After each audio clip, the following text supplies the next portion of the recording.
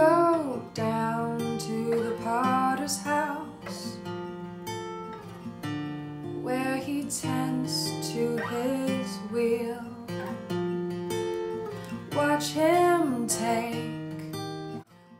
Like the clay in the potter's hand, so are you in my hand.